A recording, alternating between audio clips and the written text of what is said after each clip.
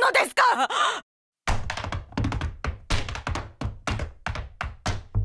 急いでるんでしょ？走る。今日の失敗はノーカウントにしよう。みつみちゃんが好きになってくれたら嬉しい。渋谷も東京も。優しくて。だけど寂しい感じのするようななんだか不思議な人ですもしかすると島君にとって私って。あることないこと言われるのは慣れてんだけど。みつみちゃんはさそういうのを信じないでよ。